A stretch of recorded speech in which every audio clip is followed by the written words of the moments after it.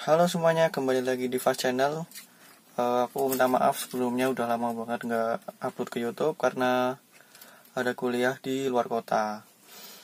Jadi ya, kali ini aku mau mereview sebuah head unit yang ada di Grand New Kijang Innova tahun 2012. Jadi head unit ini tuh sebelum Innova yang Dono ya, yang tahun 2012. Kalau yang Innova Dono itu kan bentuknya udah tablet, jadi ini yang sebelumnya tablet. Kebetulan ini adalah tipe G, jadi head unitnya warnanya hitam. Kalau yang tipe V itu warnanya putih. Tapi secara keseluruhan sama aja sih, cuma beda warna aja head unitnya antara tipe V dan tipe G. Mungkin langsung aja kita nyalain. Kita coba lihat apa aja sih yang ada di head unit Grand New Kijang Innova tahun 2012 ini. Nah, kalau dinyalain seperti ini tampilannya kita sambil nyalain mesin aja ya.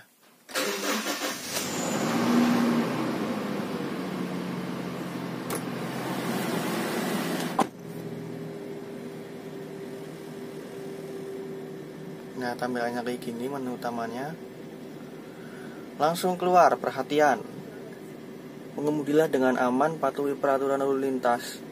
Melihat layar ini ketika ketika kendaraan sedang bergerak dapat mengakibatkan kecelakaan serius. Jadi perhatian bagi yang mengemudi untuk jangan bermain head unit ketika sedang mengendarai. Oke, langsung aja kita setuju.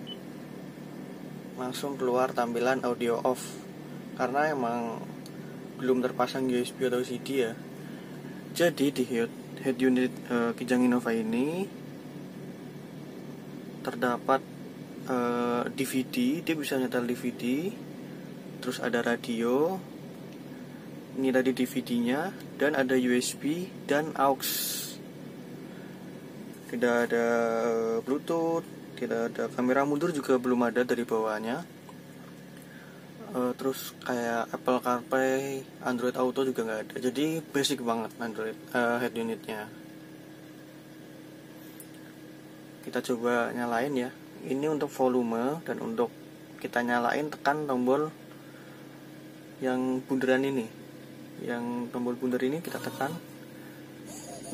Nah dia akan otomatis masuk ke menu radio.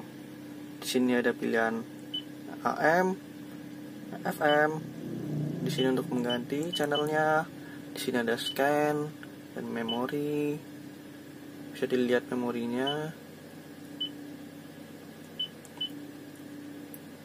ini ada back backnya di sini dan jika diputar dia akan mengeraskan volumenya. Dan tampilan menunya ini seperti ini. Langsung menuju radio. Kalau kita exit juga nggak bisa ya. Jadi ini nggak ada kayak apa ya tampilan menunya itu nggak ada. Langsung menuju ke radio CD ataupun USB terus gimana bang cara masukin CD-nya nah, di sini ada berapa CD, DVD ya. Ada aux juga dan USB sekarang kita coba masukin DVD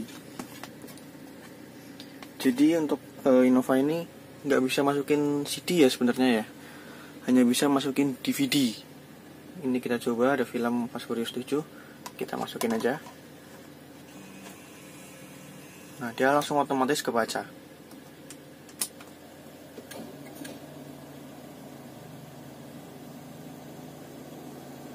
Nah, ketika udah tampilan kayak gini udah keluar ya. Dia udah main nih. Ini udah ngeplay. Nah, sekarang tinggal kita besarkan.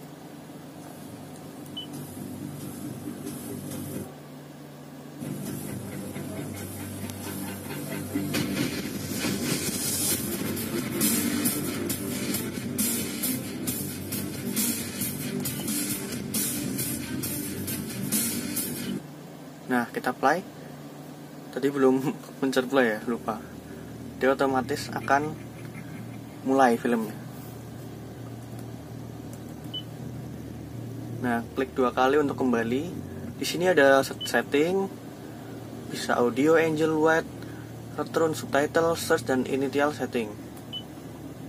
Ada top menu menu. Ini ada stop skip stop pause. Ini stop ya kalau membesarkan tinggal mencet ini dah mungkin itu aja DVD-nya kita udah coba dan ternyata bisa tapi kalau untuk CD dia nggak bisa ya cuma bisa DVD sekarang kita keluarin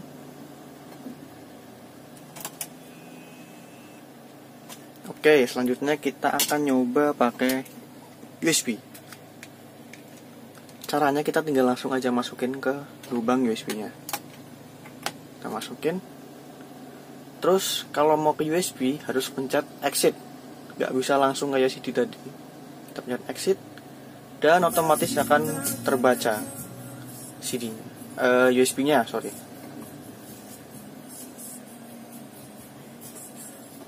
dan di USB ini juga nggak bisa memutar video dia hanya bisa memutar musik bisa dilihat di listnya nah di sini hanya ada musik DVD-nya uh, sorry filmnya nggak terbaca ya.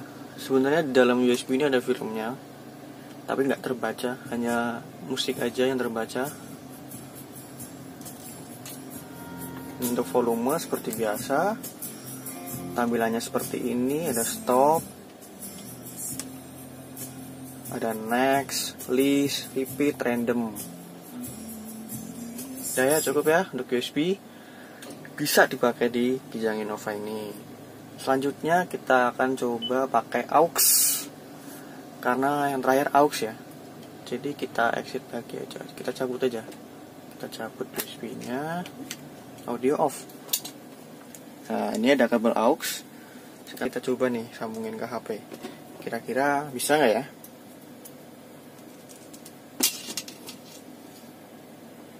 Ini aux-nya ada di atas USB ya.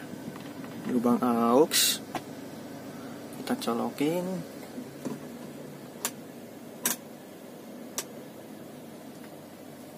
Terus kita colok ke HP. Ini udah handphone ya ada handphone kita coba colok ke handphone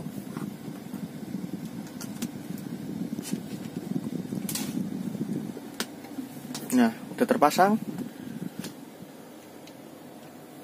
kita pencet exit. Ini udah pencet exit nggak akan keluar. Auxiliary in. Kita oke. Okay. auxiliary in sekarang kita tinggal main di handphone. Itu udah terpasang ya. Kita sekarang cari musik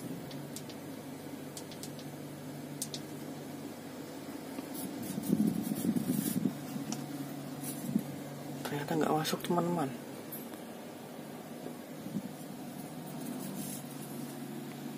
Ini udah kecolok loh.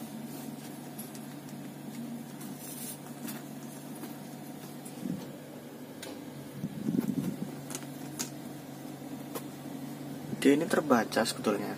Tapi ketika kita ngeplay di HP kita coba mainkan ternyata nggak bisa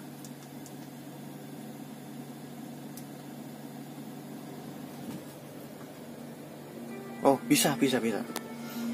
Ternyata bisa tadi. Kabelnya kurang kencang ya. Nah ternyata aux juga bisa dimainkan di head unit Kijang Innova tahun 2012 bisa ya pakai aux. Oke, jadi semuanya. Jadi yang bisa dimainkan di head unit ini ada DVD, radio, terus ada USB dan ada auxiliary. Cuma itu aja ya, nggak ada fitur-fitur lainnya. Sekarang kita stop aja auxnya, kita matikan, stop, nah, kita cabut.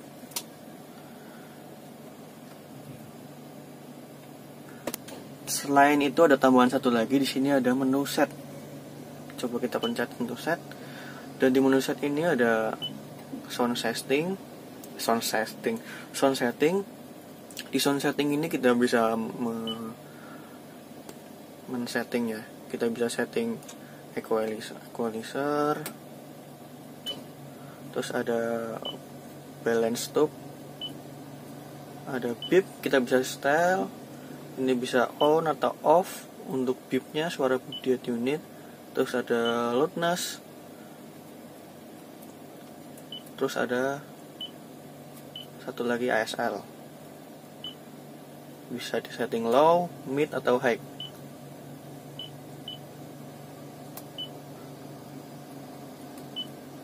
Terus di sini ada day and night mode setting. Kalau off itu nanti ke auto ya mengikuti lampu. Jadi day night setting itu kecerahan dari tampilan head unit. Kalau day terang, day naik agak gelap, kalau day terang. Kita offin aja biar ikut ke lampu. Terus selanjutnya ada maintenance quick guide, quick guide ya. Di sini ada servis berkalanya bisa tertulis ya. Servis berkala berapa ganti apa aja ini nanti tertulis di sini. Terus ada dealer list. Belum update. Oh terakhir update November tadi ya. Toyota customer contact. Kontak nah ini